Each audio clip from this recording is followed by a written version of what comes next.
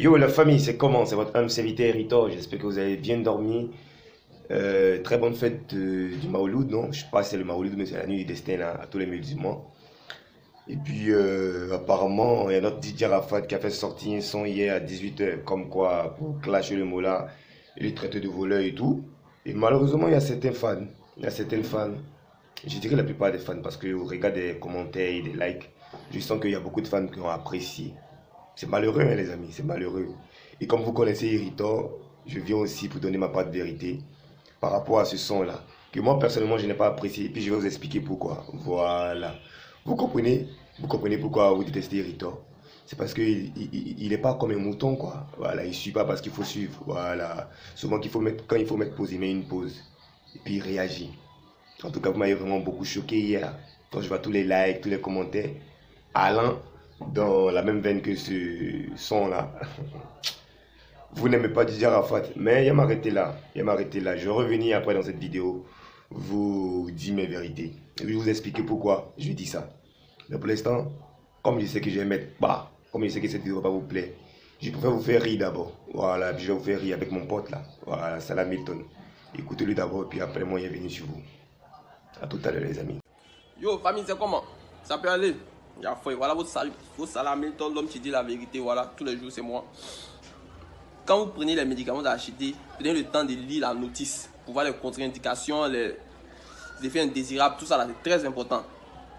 Voilà une petite qui n'est pas acheter médicaments, elle n'est pas acheter savon, Sivodem, pour se laver avec parce qu'elle avait les boutons un peu partout. Donc Sivodem c'est un savon antiseptique pour éliminer les boutons et tout.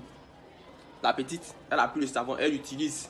Premier jour, deuxième jour, Troisième jour net, fière, son visage devient lisse. En tout cas, tout, tout a disparu. Le bouton, elle se regarde, elle touche, touche. Vraiment, elle est fière. Donc, le soir, elle s'est laver. Elle a venu se laver, elle se met devant le miroir, se mirer un peu. Elle regarde tout, elle lisse, lisse. Elle regarde sa poitrine, sa poitrine, c'est devenu lisse. Ah, il n'y a plus sain. Tiens, ouais? Ces seins ont disparu. Dans quel coup? Elle ne comprend pas. Vous ne comprenez pas. Pourquoi ça peut disparaître? Voilà le souci. Le truc, c'est que la petite, ses seins étaient tellement petits, petits, elle a utilisé le savon contre ses boutons. Le savon a confondu ses seins et puis le bouton. Tellement c'était petit, le savon a cru que c'était des boutons aussi, ces seins-là. Donc le savon a tué tout, a tout fait lisse, lisse là. Est devenu lisse ciel. Ça est devenu lisse. Donc un lissage quoi. Voilà. C'était la vérité pour vous. Merci beaucoup. Ciao, ciao. Voilà, c'est votre homme serviteur de retour. On était là dans la journée d'hier, le mec il annonce une tirette que j'ai regardée en intégralité. Il se plaint de ses danseurs, comme quoi ses sons sont trop bons, ses danseurs qui sont nuls. Ça, c'est lui et son staff, c'est son, boulot. Il a le droit de dire ce qu'il veut. Et après, il annonce un son à 18h.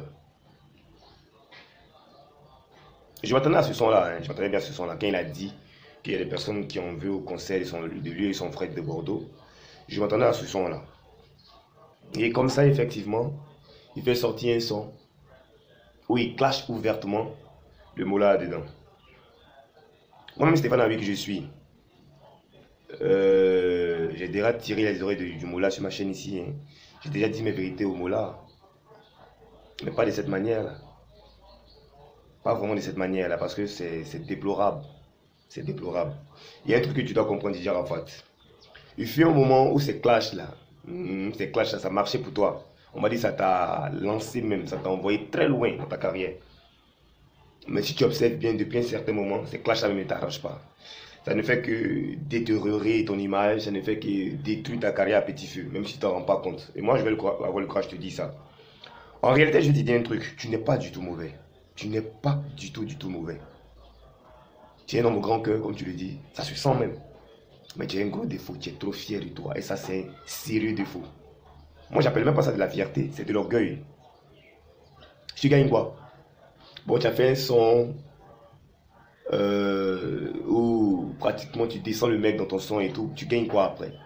Ça n'enlève rien à ses activités, ça n'enlève rien à son statut, ça n'enlève rien dans sa vie. Bien au contraire, tu perds une audience pour ton album. Tu perds des fans futurs, c'est-à-dire s'il y avait réconciliation, les fans de ce dernier-là pouvaient t'accompagner dans ta carrière. Mais comme tu es tellement sûr de toi, tu es tellement le Daishikan, d'après toi, l'ange de la destruction, tu fais un son comme ça où euh, tu clashes et tu vraiment tu clashes ton beau-frère, le Mola. C'est toi qui l'as dit, c'est pas nous qui l'avons dit. C'est toi qui le clamait partout quand vous étiez d'accord. Il y a un truc que tu dois comprendre, Didier Arafat. Lorsqu'on organise un conseil de cette envergure, avec son meilleur ami, lorsqu'on a un album qui sort le 28 décembre, on fait l'effort. On fait l'effort surhumain sur nous de sursoir à tous ces passesses-là, à tous ces clashs-là. Pendant que nous, on est en train de se battre pour parler de réconciliation, tu penses que c'est qu'en répondant à ce dernier-là, on va dire non, c'est le Daesh quand es trop fort. Tes fans viennent m'insulter, hein, mais je m'en contrefiche parce que c'est pas maintenant qui m'insulte. Moi, quand il faut te défendre, je vais toujours te défendre. Mais quand tu déconnes, j'aurai toujours le courage de dire que tu as déconné. Et sur ce coup-là, tu as vraiment déconné. Moi, voici un truc. Je vais prendre pour attirer l'attention de certaines personnes. Vous traitez le mot-là de sorcier, de voleur, de con, de je ne sais quoi encore là. C'est parce que vous êtes simplement fan de Didier Arafat. C'est parce que vous détestez simplement le Mola. Imaginez-vous un instant que vous êtes fan de Mola aussi.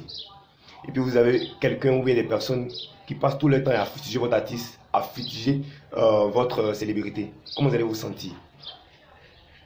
Ce sont ces personnes qui sont trop dans la vérité. Ce sont ces personnes qui sont trop les martyrs. Souvent, il faut arrêter. En fait, je fais cette vidéo là parce que moi j'ai mal pour toi. Tu as réussi ta vie, hein, c'est vrai, tu as réussi ta vie. Moi, je n'ai pas encore réussi la mienne. Même si je la réussis pas, je serais très content de te voir aller plus loin que où tu es actuellement, Didier Rafat. Voilà. Euh, tu as tes raisons, tu as fait le, son, tu l'as clashé, tu as dit ce que tu avais dit. Mais il n'y avait pas lieu. Il n'y avait pas lieu. Franchement, il n'y avait vraiment, vraiment pas lieu. Parce que avec ce genre de comportement-là, c'est sûr que notre coupé décalé ne sera jamais uni. C'est sûr que ce coupé décalé ne sera jamais uni. Et puis il va stagner là. Parce que si vous ne savez pas, vous êtes en train de mettre ce coupé décalé à un niveau où quand vous, vous n'allez plus chanter, ça sera difficile pour votre élève pour l'envoyer au sommet. Or, normalement, quand nous sommes des grands frères conscients, quand, on, est, un grand frère, nous sommes des grands frères conscients, on met notre mouvement au beau fixe et puis on prend nos retraites. C'est ça qu'on appelle des personnes qui ont du cœur, c'est ça qu'on appelle des personnes qui sont vraiment pleines euh, de, bonne moralité, de, bonne moralité, de bonnes choses, de, bon esprit. Mais vous savez, vous êtes en train de, comme on dit, nyangami, comme on dit en Djoula, mélanger tout, tout bousiller, casser tout. Et puis, demain, vous ne chantez plus, et puis le mouvement est là, comme ça, et puis le mouvement meurt. Parce que, ce que moi je vais te dire, c'est que moi, Stéphane, je t'ai défendu. Oui, je t'ai défendu plusieurs fois même contre le mot là. Mais quand on te dit arriver un moment, faut arrêter puis penser à demain, il faut le faire. Quand te dit souvent, il faut arrêter. Didier Rafat, fais l'effort sur toi, de faire pause, de laisser tout tomber et puis regarder devant. Il faut, le faire. Petit frère donne conseil. N'importe qui peut donner conseil. À la base, je ne suis pas fan de toi. Hein. Tes fans même le savent. Mais je te supporte simplement parce que tu es avec mon artiste. Et comme je veux que paix et réconciliation dans ce mouvement, et surtout en toi et mon artiste. Je me dois, comme je l'ai dit, de toujours te défendre. Mais quand il ne faut pas te défendre, il ne faut pas que je t'encourage. Tu ne devais pas, honnêtement. Tu ne devais vraiment, vraiment pas. Bon, les amis, vous qui encouragez là, il a fini de faire ça, c'est quoi le, le bail? C'est quoi? Qu'est-ce que ça change? Bien au contraire, ça va continuer cette sorcellerie qu'il y a autour de lui là. Ça va continuer à boycotter tous ses projets. Didier Rafat lorsqu'on sort un album international, ce ne sont pas les gens de ton pays seulement qui vont payer. Qu'est-ce que tu dis des regards des autres? Qu'est-ce que tu dis du regard de l'extérieur? Par exemple, en Europe, tu veux t'exporter, non? Tu penses que les White, ils sont trop fiers de ce, genre de, de, comportement là? Vous avez fait toutes vos bêtises, mais Dieu vous bénit toujours. Vous avez signé avec les grandes majors. Vous sortez bientôt un album, vous vous préparez un concert, mais vous ne pouvez pas avoir l'humilité de vous calmer. Moi, je dis toujours un truc. Quand tu es un enfant de Dieu, que tu es en train de mener un projet, ton cœur ne doit pas couper. Ton cœur ne doit pas prendre l'eau. Ton cœur ne doit pas battre. Parce que quelles que soient les manigances, quelles que soient les médisances, quel que soit ce qu'on fait dans l'homme contre toi, tu triompheras toujours. Mais toi, ton problème, Didier Arafat, c'est que toi, tu t'es dit que c'est quand tu réponds à la personne, on dit oui, tu es Didier Arafat, que tu es trop garçon, tu es trop l'état et chicane. Tu fais une grosse erreur. Une très grosse erreur parce que ça marchait jadis. Mais tu constates, tu remarques bien que ça ne marche toujours pas. Et ces fans qui t'encouragent dans ce genre de bêtises là, tu penses qu'ils t'aiment. Mon ami, il t'aime pas. Il t'aime vraiment, vraiment pas.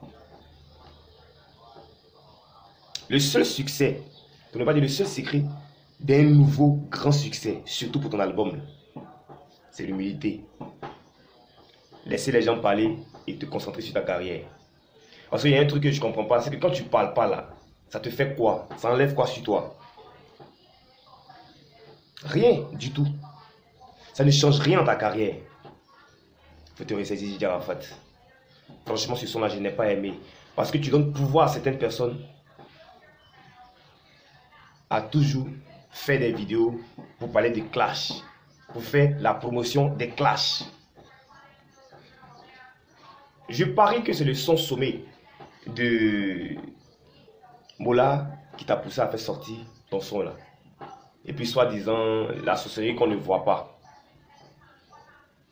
Ton album là, c'est les fans qui payent. Votre conseil là, c'est les fans qui vont payer les tickets. Donc faut arrêter un peu. C'était mon mot que j'avais à dire.